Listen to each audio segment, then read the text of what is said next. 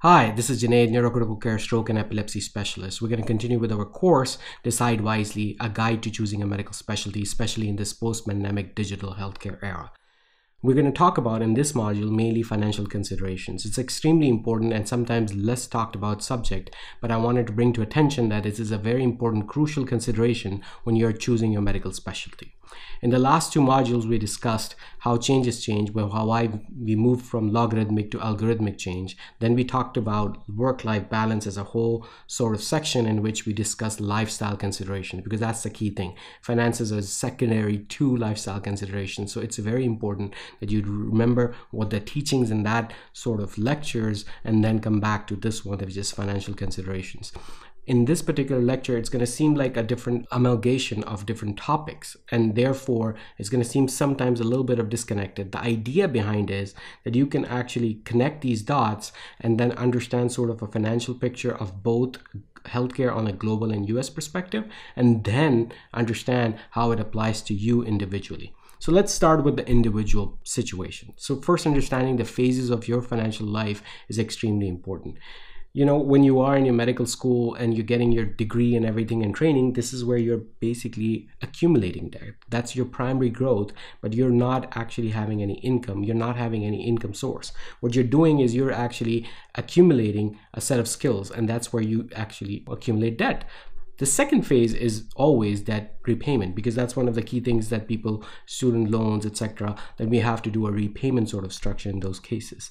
The third phase is asset building where there's the secondary growth when you are actually looking into different areas where you can do asset building in terms of stocks, 401ks, rental properties, whatever that asset building phase comes in. And then lastly, your concentration changes completely to making sure that you have enough retirement income and possibly if you're smart enough, you can go into passive income as well while you're producing those assets. So that's your financial journey overall. That's no different for any other person. It's the same journey I'm going through and probably one of the few peoples except for who are ultra rich may not need this. But generally speaking, this is where most people fall in terms of their financial journey. Now, the other personal thing is like, you know, how much physicians do make is something that I'm going to teach you here, or sort of at least give you the skills how to figure it out on an ongoing basis because things are going to change significantly as we move along. But how much is enough? And that's not a question that I can answer. But I do want to answer one thing is that that do invest in your happiness. Now, this is a fantastic lecture, and I've follow this person very much on YouTube and he did this great lecture on how to invest in your happiness to understand how much is enough and to understand where to put the money in in terms of a long-term happiness sort of way. He quoted this study in his particular lecture and what he said is that that satiation, a turning point at which happiness is more than the income is around 95,000. This is a little older study, I think 2018. I think the numbers would be slightly higher, especially now that inflation is rampant. However, there is a number at which you do have more happiness.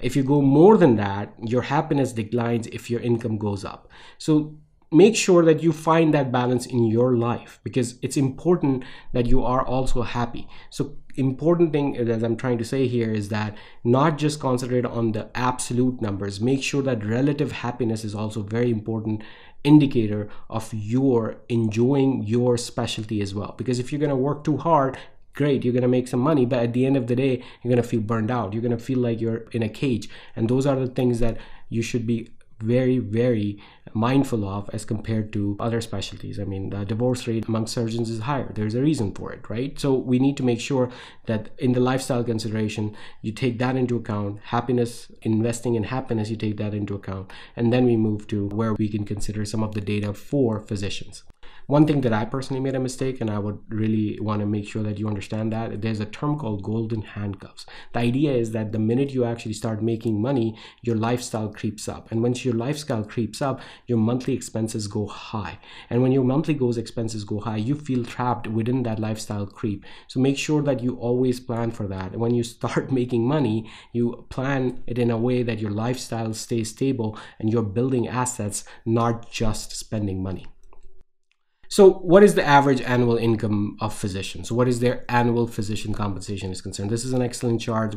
All this is from Medscape. This is also referenced within the website, so you can see it clearly when you are going through the Academy website.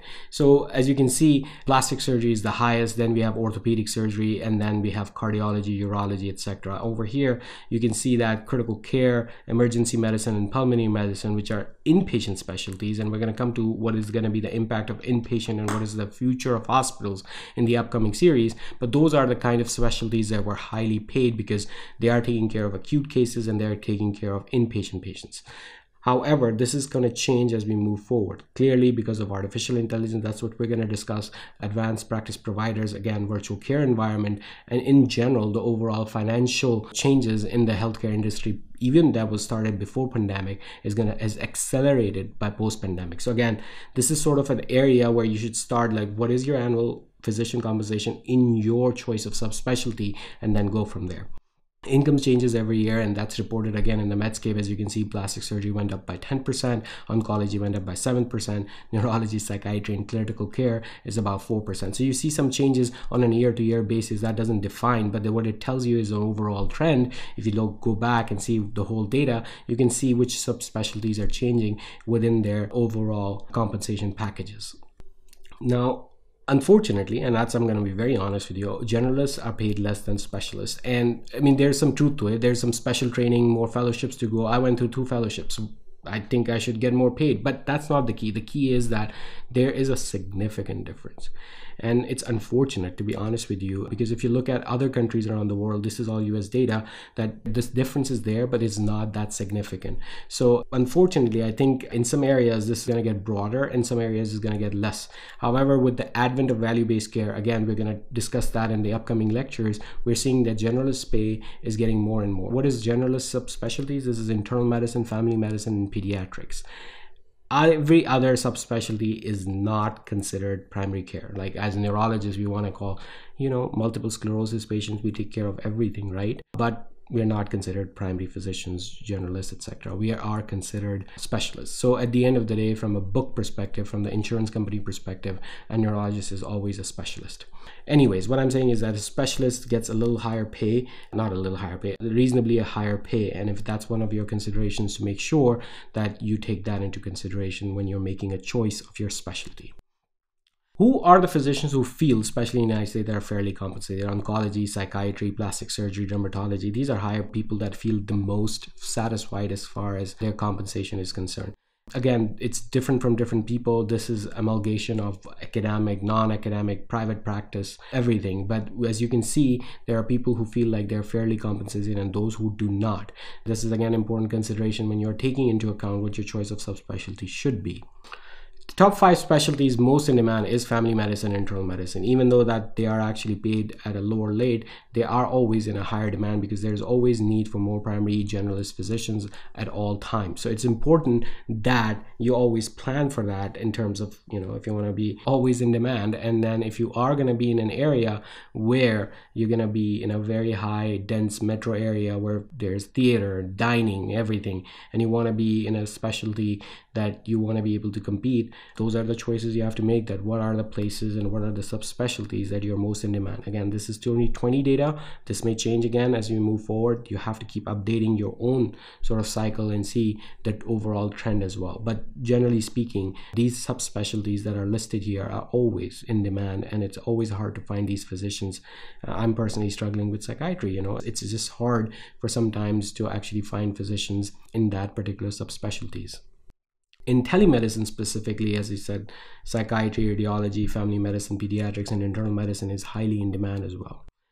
The metro areas in the United States is El Paso, Miami, Florida, Cleveland, Ohio, Phoenix, Arizona, and Denver, Colorado. Again, you can see that these things are going to change as we move forward. There's a high push, and sometimes there are places that actually open up sign on bonuses, uh, special packages, etc. And then things change but at the end of the day these are currently the metro areas where you can see most in demand again you should see where you're going to fall on the spectrum as well. It's always a demand and supply thing, right? I mean, I'm living in Dallas, Texas. There's not a significant shortage of neurologists. So there's a competitive market that I'm living in. But if I move to El Paso, Texas, it's going to be a different people will be lining up. So there's a difference where you're going to be ending up as far as your location preferences is concerned and you should take that into account.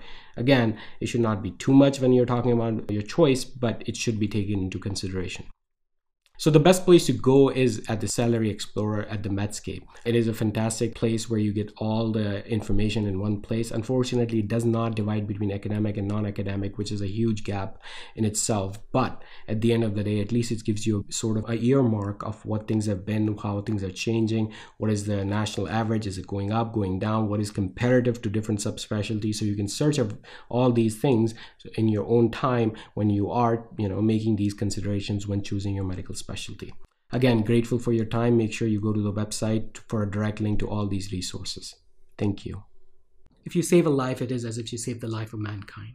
Please make sure you like, comment, share, and subscribe to my YouTube channel and my newsletter. If you want to get in touch with me, the best way is to go through Twitter or via LinkedIn. Also, make sure you follow the Academy website for regular updates. Thank you so much.